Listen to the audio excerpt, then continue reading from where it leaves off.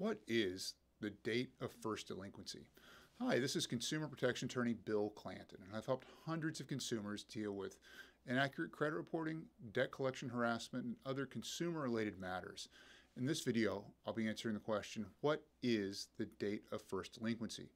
The date of first delinquency is the date that somebody first falls behind on payments, and this date is very important because it ensures compliance with the Fair Credit Reporting Act.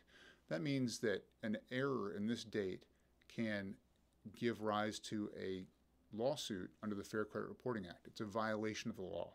Now, in order to bring a lawsuit, you'll have to first dispute the inaccurate information. And I've got videos about that. Um, it's a whole process in and of itself. But date of first delinquency is important because it ensures a number of things.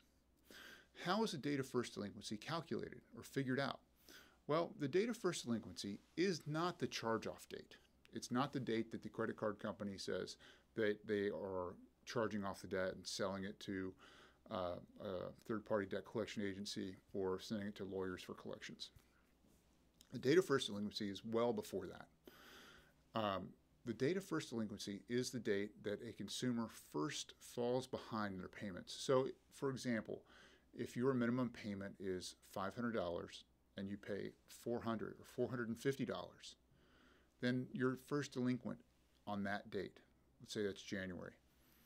Now, if you continue to make payments to the credit card company and they continue to accept them, then they may not put your account out for charge off or start the charge off process.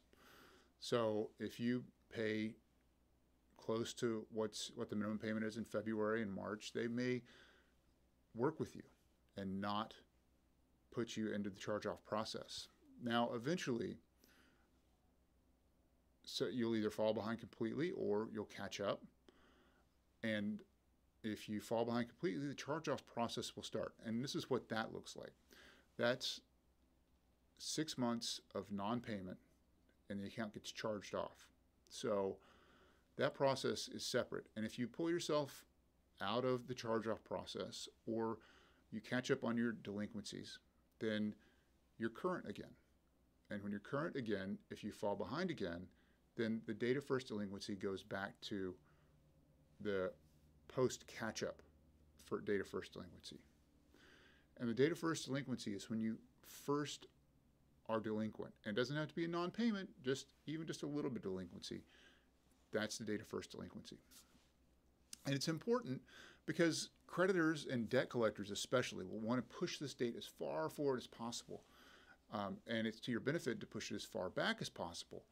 So a debt collector will say that it's the charge off date, and we'll say that it's the date that you first fell behind, even a little bit, because the statute of limitations will be put, pushed back by at least six months. In Texas, a debt collector has four years to sue you to collect a debt. And if that date is further back, then that's to your benefit. So, another thing that's related to the date of first delinquency is when you look at your credit report, you'll see um, the reporting for each account. It'll normally say current or C, C, C, C. And then you'll see 30, 60, 90, 120 days late. That's related to the date of first delinquency. Credit reporting is all interrelated. It's like a web. You push over here and something moves over here. So, um, with the date of first delinquency, it's related to the current status and the number of days late. So, it's interesting to look at this because if you're current in January, you can't be 90 days late in February. The furthest you could be late in February would be 30 days. And then 60 days in March, and then 90 days in April, and 120 days in May. So it's important to look at your credit report closely because if you're suddenly 60 days late, or if you go from 30 to 90 days late, or if there's any kind of gap between the, the dates, if there's a time travel in your credit report, then something's wrong. That's inaccurate. It's impossible for that to happen. And that's the basis for a dispute, and if it's not cleared up, potentially a lawsuit. Because the further late you're reported, the worse your credit score is. If you were 30 days late on something and then you caught up, that's not as bad as being 60, 90, or 120 days late. So it's important these dates are accurate.